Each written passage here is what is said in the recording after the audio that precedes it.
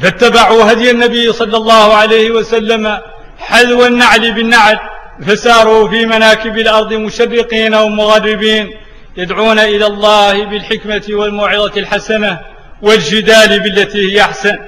عمل عملا بقوله تعالى الحسنة وجادلهم بالتي هي أحسن. وجادلهم بالتي هي أحسن بهذا المنهج. دخل الناس في دين الله مثنى وفرادا أفواجا زرافات بالقرى وأمصارا وقارات. ذلك للفهم الصحيح والتمسك بنهج النبي صلى الله عليه وسلم الذي لا إفراط فيه ولا تفريط. فالوسطية حسنة بين سيئتي الإفراط والتفريط. إذ هي دعوة إلى الله بالحكمة والموعظة الحسنة والجدال بالتي هي أحسن.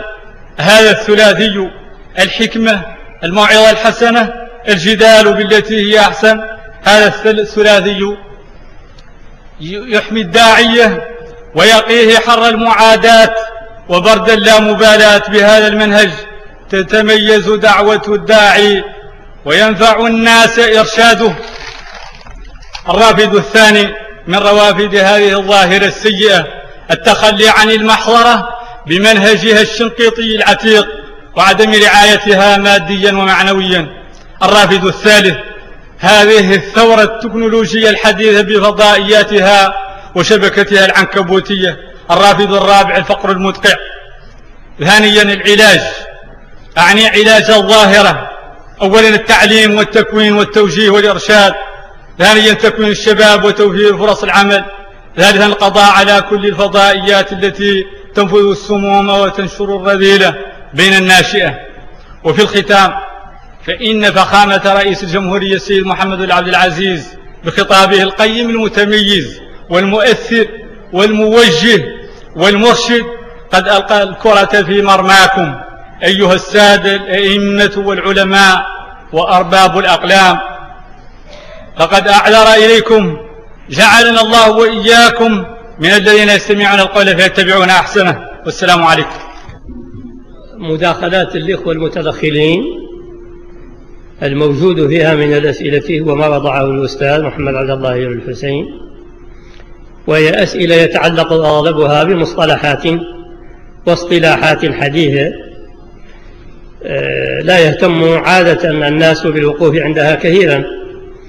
فإذا أطلق الناس على مجموعة من أصحاب الفكر الإسلامي أو الممارسات السياسية كلمة السلفية الجهادية أو نحو ذلك فنحن لا نتحكم في المصطلحات التي يطلقها المتغلبون. فهؤلاء أطلقوا كلمات على على في كل المصطلحات العلمية وسارت سيران المصطلحات الثابتة المحدودة. كالعالم القديم والعالم الثالث والعالم النامي والشرق الأدنى والشرق الأوسط. تصوروا أنهم مركز العالم.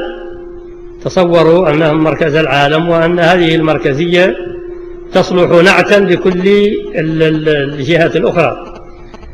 ثم كتابهم وفلاسفتهم ومفكرهم ينعتون هذه الحركات السياسية أو الحركات الدينية أو ما إلى ذلك بنعوت هم الذين أطلقوها. كالأصولية بدل أن يقولوا السلفية بعض الأحيان يقولون الأصولية. والمصطلح كان سعيدا في أيام في الثقافة الأوروبية قبل أن ينهض العالم الإسلامي.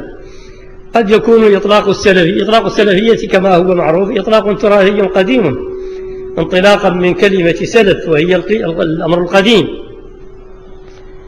لكن مفهوم السلفية في الثقافة الإسلامية كان يطلق أساسا على صورة من المواقف العقدية أساسا في التوحيد ونحوه من العقائد.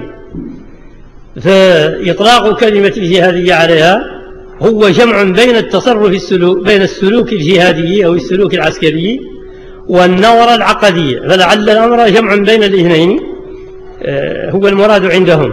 لكن كما قلت آه، يعني قد لا يكون من المهم الوقوف عند هؤلاء. فنحن لسنا هم الذين أطلقوا هذه المصطلحات في أغلب الأحوال في أغلب الأحوال.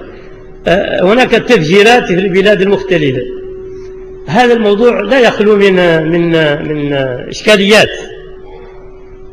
على العموم التفجيرات ما منها مقاومة أو مواجهة للعدو الكافر بمشروعية تقرره سلطة المقاومة. إذا افترضنا أننا هنا نقاوم الكفار وقررنا أننا عندنا مجموعة من الأشخاص الذين نريدهم أن يمارسوا بأنفسهم وأن يضحوا بأنفسهم. الوقت وقررنا أننا عندنا مجموعة من الأشخاص الذين نريدهم أن يمارسوا بأنفسهم وأن يضحوا بأنفسهم. الوقيعة في العدو وقرر قررت القيادات العسكرية والفقهاء ذلك. من أجل التأهيل على العدو بالتضحية بهؤلاء القوم؟ هذا قد يجوز لأننا نعلم أن صحابة رضوان الله عليهم أجمعين كانوا كان الواحد منهم يقدم على الجم الكثير من الناس من العدو ويوجد فيه عدة طعنات وهو متحقق القتل.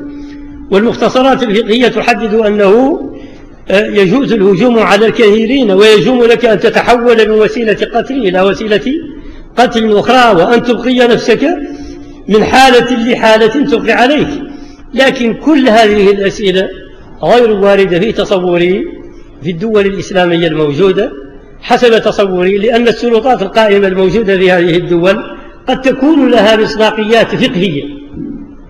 قد تكون لها مصداقيات شرعية وقد يختلف الناس في ذلك.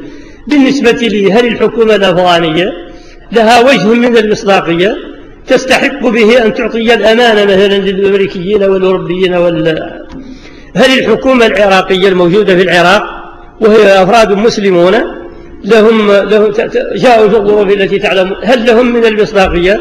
ما يستطيعون به أن يؤمنوا أن يؤمنوا الكفار الموجودون عندهم الموجودين عندهم بحيث لا ينبغي الاعتداء عليهم بهذه الطريقة. أما بالنسبة للفلسطينيين فالسؤال أيضا يمكن أن يكون واردا. بالنسبة للسلطة الفلسطينية. الخلاصة في تصوري أنه إذا قررت سلطة لها وجه من الشرع أن تمارس مجاهدة الكفار أو طردهم من بلادها بهذه الوسيلة فالأمر مشروع إذا كانت السلطة التي تقرر ذلك لها مصداقية التصرف. لها مصداقية التصرف. وإذا كانت السلطة الموجودة في هذا البلد لها مصداقية تعطي الأمن كان هذا التصرف غير مشروع في تصوري أما إذا كان البلد محتل كليا من المستعمر ويراد تحريره فالقضية خاضعة للجدوائية والفتوى والفقه وما يحصل من التضحية من أمر يؤثر في الكافر وينفع المسلم. هذا ما أراه. والسلام عليكم ورحمة الله وبركاته.